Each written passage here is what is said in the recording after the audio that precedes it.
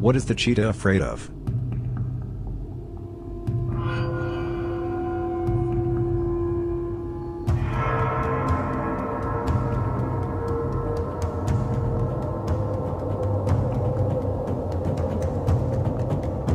Cheetah is afraid of hyena. Cheetah is afraid of hyena because cheetahs know how strong a hyena's bite is. The hyena can easily bite and crush the bones of other animals, including cheetahs. The hyena is considered a carnivorous predator, as it works to crush the bones of its prey and cut it into small pieces, so the hyena walks on its hands so that it has to catch the prey faster and more softly.